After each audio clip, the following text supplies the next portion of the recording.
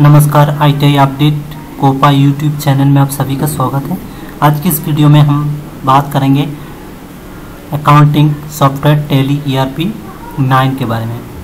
Tally का practical video आज से हम स्टार्ट कर रहे हैं और टैली का पूरा कोर्स जो है सीरीज़ वाइज डेली हम इस यूट्यूब चैनल में डालेंगे। तो आप लोगों से गुजारिश है, अगर आपको टैली सीखना है तो हमारे चैनल को सब्सक्राइब करें, लाइक करें और शेयर करें। तो टैली प्रैक्टिकल करने से पहले टैली से संबंधित कुछ विशेष जानकारी, थ्योरी, नॉलेज होना आवश्यक है। इसके लिए आज का मेरा ये वीडियो है, जो एक पावर पॉइंट में टाइप करके मैंने बनाया है। आप लोग इसको हो सके तो कॉपी में नोट कर लें। क्योंकि टैली प्रैक्टिकल करते समय आज का ये वीडियो में दिया गया मैटर बहुत ही इंपॉर्टेंट है और काम आने वाला है। तो चलिए स्टार्ट करते हैं। Tally E R P nine सीखने से पहले हमें जानना ज़रूरी है अकाउंटिंग क्या है। अकाउंटिंग का संबंध बिज़नेस से है, जो किसी संगठन की आर्थिक घटनाओं को पहचानने, मापने और लिख कर रखने की प्रक्रिया है। व्यापार में लेन देन से जुड़े आर्थिक ट्रांजैक्शन को क्रमानुसार प्रभावशाली ढंग से लिखने, वर्गीकृत करने, संक्षेप में व्यक्त करने और उनके परिणामों को व्याख्या करने की कला। अकाउंटिंग का लाभ क्या है? अकाउंटिंग हम क्यों सीखेंगे? अकाउंटिंग का लाभ निम्नलिखित है। हम अकाउंटिंग की सहायता से बिज़नेस में कितने संपत्ति है, ये जान सकते हैं। हम अकाउंटिंग की सहायता से बिज़नेस पर कितने ऋण हैं, ये जान सकते हैं। हम अकाउंटिंग की सहायता से बिज़नेस में लाभ या हानि के कारणों को जान सकते हैं। हम अकाउंटिंग की सहायता से बिज़नेस से संबंधित सभी प्रकार की ट्रांजैक्शन को लिखकर प्रभावशाली ढंग से प्रस्तुत कर सकते हैं। वर्तमान में प्रयोग होने वाले कुछ अकाउंटिंग सॉफ्टवेयर के बारे में जानना भी ज़रूरत है। टैली तो है ही, टैली के अलावा और भी दो चार आपको अकाउंटिंग सॉफ्टवेयर के बारे में नॉलेज होना ज़रूरी है। कम से कम नाम क्या है? एक नंबर में टैली आर पी नाइन जो हम लोग सीख रहे हैं। दूसरा में QuickBooks G N U cash S A P FreshBooks Xero my books Marg E R P nine आदि। और भी बहुत सारे अकाउंटिंग सॉफ्टवेयर हैं, लेकिन ये टॉप फाइव में जो अकाउंटिंग सॉफ्टवेयर चलता है, इसी का लिस्ट मैंने इसमें आप लोगों को बताया। नेक्स्ट है स्मार्ट अकाउंटिंग आप टैली के बारे में कुछ जानकारी हम लोगों को रखना चाहिए। टैली आविष्कार किसने किया? ठीक है, ये जानना बहुत ज़रूरी है। तो टैली के अकाउंटिंग सॉफ्टवेयर है। टैली का आविष्कार श्याम सुंदर गोयनका और भारत गोयनका ने किया, जिसका निर्माण सन 1988 में किया गया है, जो टैली सॉल्यूशन प्राइवेट लिमिटेड भारतीय कंपनी द्वारा निर्मित है। जिसका हेडक्वार्टर बेंगलोर, कर्नाटक में है। Next Tally R P nine को इंस्टॉल करने के लिए आवश्यक हार्डवेयर एवं सॉफ्टवेयर क्या क्या चाहिए? टैली जब हम लोग सीखेंगे तो टैली को इंस्टॉल करना भी सीखना बहुत ही ज़रूरी है। इसके लिए क्या क्या सिस्टम रिक्वायरमेंट्स हैं, ये भी जानना बहुत ही ज़रूरी है। तो इसके लिए प्रोसेसर क्या होना चाहिए? इंटेल पेंटियम फोर या इससे अधिक होना चाहिए।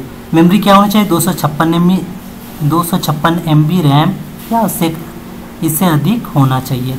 हार्ड डिस्क में खाली स्थान मिनिमम पचास एम बी होना चाहिए डेटा के अलावा। मॉनिटर रेजुलेशन क्या होना चाहिए? एक हज़ार चौबीस गुणे सात सौ अड़सठ पिक्सल या अधिक। और एक चीज़ यहाँ पे मैं बताना चाहूँगा, जो ऑपरेटिंग सिस्टम यहाँ पे मैंने नोट नहीं किया तो मैं आप लोगों को बता देता हूँ। ऑपरेटिंग सिस्टम जो है मिनिमम एक्सपी होना चाहिए। आजकल जो सिस्टम आते हैं डेस्कटॉप हो या लैपटॉप उसमें एक्सपी से एडवांस ही आते हैं। जैसे विंडोज़ सेवन टेन एट ये सब कुछ मिल जाता है। तो टैली आराम से आप चला सकते हैं। नेक्स्ट हम लोग को जानना ज़रूरी है टैली सीखने से पहले अकाउंटिंग से संबंधित कुछ शब्दावली जो हम लोग बार बार प्रयोग करते हैं। इस, इसको भी जानना बहुत ही ज़रूरी है। एक नंबर में अकाउंट अकाउंट क्या है? अकाउंट किसी ट्रांजैक्शन का वो स्टेटमेंट होता है जो किसी एसेट लायबिलिटी वेतन या खर्च को प्रभावित करता है। ठीक है? अकाउंट किसी नाम से होता है, जैसा लेज़र लेज़र के साथ इसका संबंध बहुत है। जब आगे आप लोग प्रैक्टिकल करेंगे तो अकाउंट और लेजर के बारे में आप लोग का जो कॉन्सेप्ट है, वो क्लियर हो जाएगा। नेक्स्ट है गुड्स गुड्स क्या है? गुड्स को बिज़नेस में नियमित और मुख्य रूप से खरीदा और बेचा जाता है। कोई भी कंपनी जब बिज़नेस करता है तो किसी गुड्स के ऊपर ही डिपेंड करते हैं।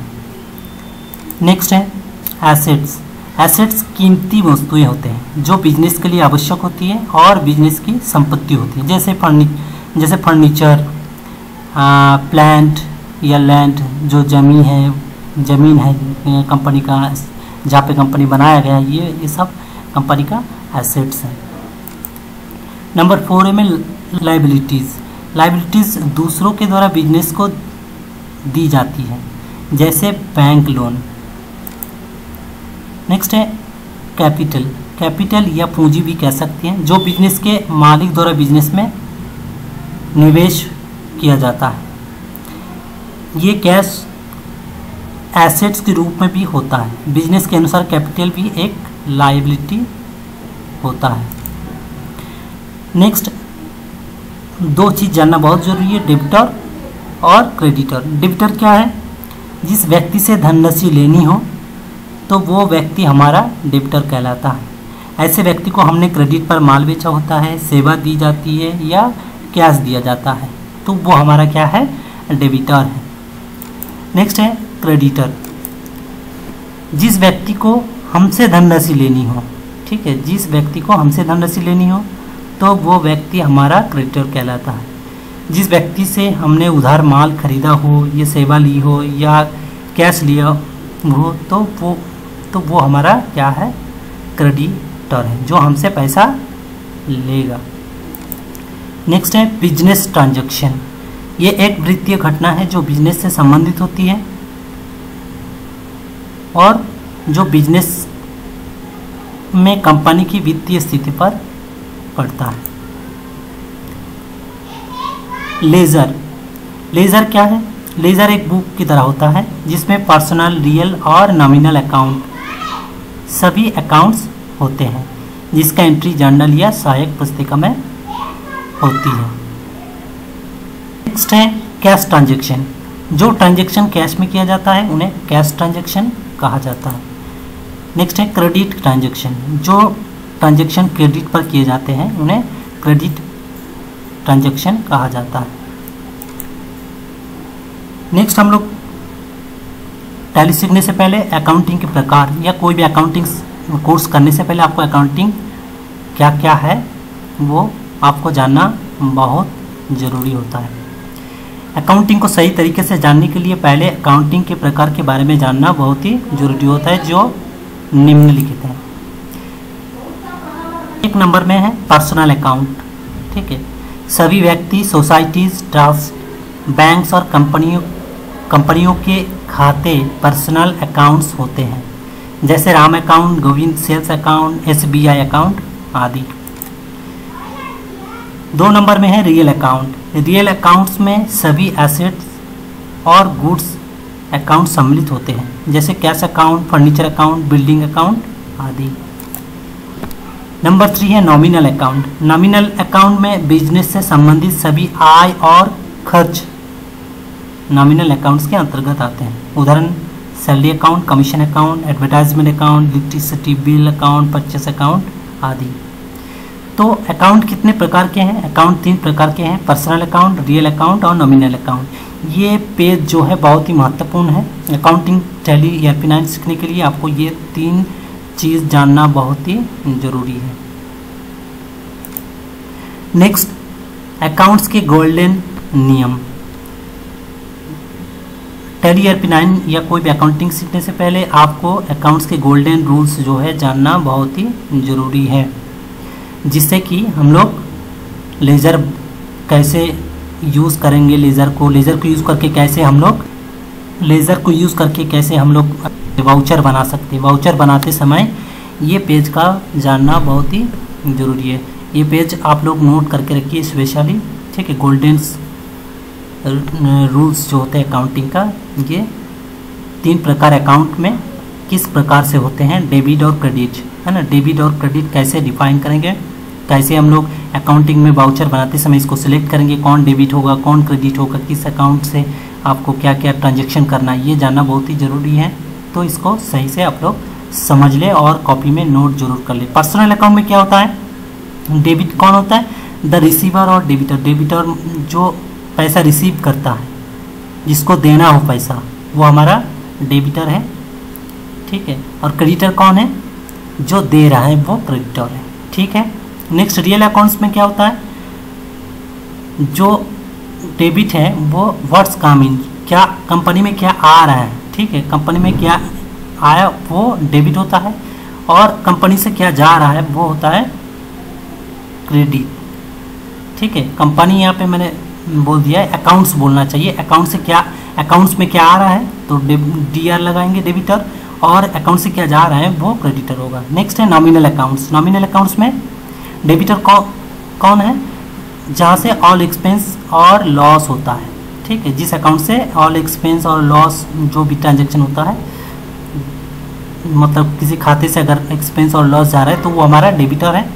ठीक है क्रेडिटर जो इनकम होता है है ना? इनकम और लाभ जो भी होता है, उस अकाउंट में क्रेडिट होता है, ठीक है नॉमिनल अकाउंट में इस तरह से आपको जो भी खर्च होगा, वो डेबिट होगा और जो भी इनकम होगा या लाभ होगा, वो होगा क्रेडिट ठीक है? इसको सही से समझना बहुत ही ज़रूरी है ज़रूरी है अकाउंटिंग में। तो आज के वीडियो में बस इतना ही। कल हम लोग टैली का प्रैक्टिकल स्टार्ट करेंगे। कंपनी बनाना वाउचर बनाना लेज़र क्रिएट करना यहाँ पे अकाउंटिंग अकाउंटिंग और इन्वेंट्री मैनेजमेंट दोनों चीज़ हम लोगों को कोपा सिलेबस में सीखना है। इसके अलावा टैक्सीशन और पेरोल भी आप लोग सीख सकते हैं। तो टैली को पूरी तरह से सीखने के लिए हमारे चैनल को सब्सक्राइब ज़रूर करें और दूसरों को शेयर भी करें। Thank you